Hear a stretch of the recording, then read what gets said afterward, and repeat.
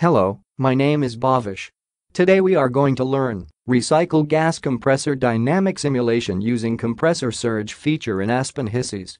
So, let's begin without wasting more time. Go to Start menu and open Aspen HYSYS V11.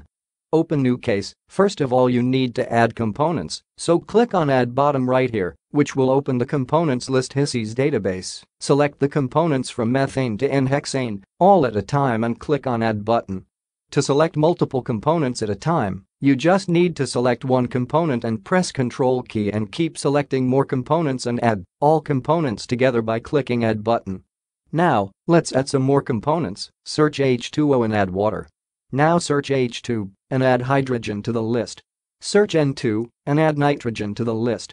Now let's see this. You must observe that component list 1 is turned to blue, which was red earlier. Now, let's go to fluid packages, as required info says we need to select property package to carry out calculation for the selected components list. Click Add button. This opens property package list available in HYSYS. Search the property package, Peng Robinson from the list and click it. Now you see, property package status bar is changed to green, and it says OK. I am sure you all are with me. So far, we have defined component list and fluid package. Now, we are good to go for simulation. Click on the Simulation tab on left and simulation window will open. This is Model Palette, from where you can select process streams, energy streams, and equipments to your simulation flow sheet. So just add one process stream and name it as suction. Double-click on the stream, material stream window will open. Rename the stream as suction. Can you see the messages below? Unknown composition, unknown temperature, unknown pressure and unknown flow rate. This means we need to define all of these one by one. To define composition, Click on Composition tab on Material Stream window. You will see all the components you added and components list are appearing. Now click on Edit button and add the mole fractions of each components for the compressor suction stream. Go to Conditions and define temperature of the stream as 50 degrees centigrade.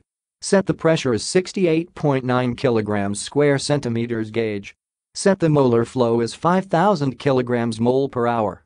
Now, the recycle gas compressor suction stream is defined fully. You can Now, we will add the compressor to the simulation flow sheet. Click the compressor icon on model palette and then click on blank space anywhere on the flow sheet area. Can you see the messages, which says, requires a feed stream, requires a product stream and requires an energy stream? Let's define it one by one.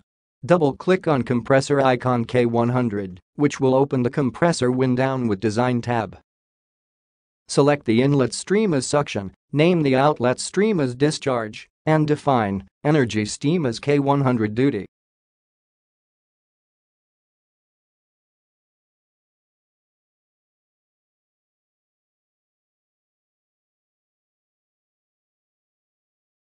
You will see that status bar is changed to yellow and showing the message, unknown duty.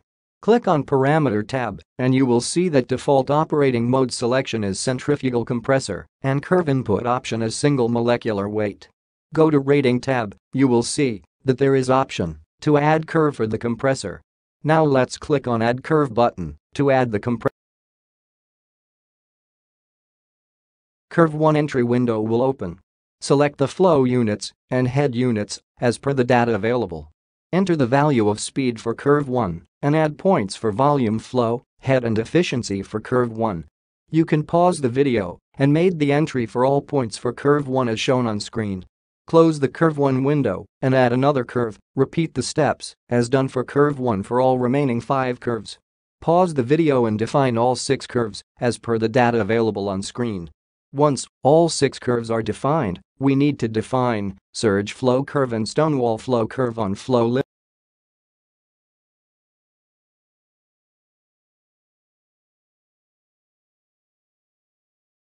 Click on the Surge Curve button and select the flow units as cubic feet per minute. Define the points for speed and flow on surge curve as per data shown on screen. Once the surge curve is defined, close the window and click on Stonewall Curve button. On the Stonewall Curved window, select the flow units as cubic feet per minute.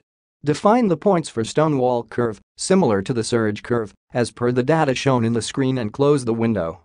Now select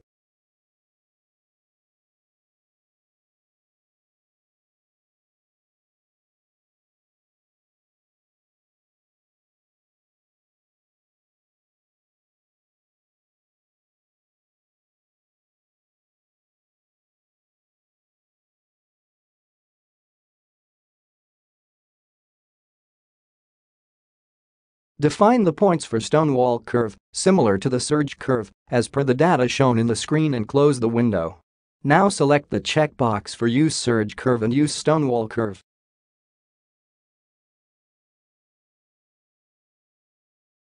Let's go to Curves tab again and check the efficiency selection.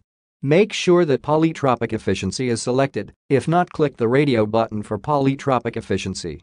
Select the checkbox for all six curves to activate our defined curves. Also select the checkbox for Enable Curves. Now you can see that compressor K100 status bar is still yellow and shows the message, no duty, no speed, or no outlet pressure. To complete the calculation you need to define any one of these three parameter. Let's define the speed here for this case. Enter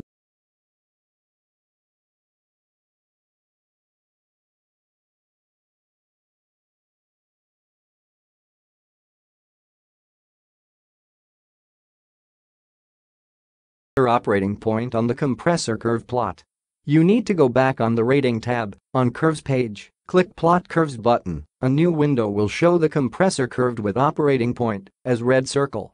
Now, close the windows and let's go to simulation flowsheet. You will see the compressor surge button on home menu, right in the middle. Select the compressor K100 and click the compressor surge button to convert our steady-state model into the dynamic simulation model with predefined configuration by HYSYS. Here you can select the number of stages, for this case we will continue with one stage. Under the template drop-down menu, you can see there are different configurations are predefined. Also you can define custom template. In this video we will select the template, cooler on suction side configuration. You must have noticed that, upon selection of different template, the flow sheet down below is also changing. Once you select the template, click the Enter Flowsheet button on right bottom corner. The dynamic flow sheet for compressor K100 is opened according to template we selected. Just notice that the model is converged and model is ready. Now, click the Dynamics menu on the top and you will notice there are three button. Run, Stop, and Rewind. Under the Summary section, the drop-down menu is having four predefined scenarios. Discharge valve failure. Controlled shutdown. Emergency shutdown. Total power failure.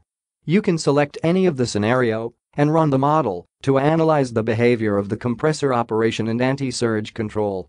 Let's run the scenario for discharge valve failure and check the compressor behavior.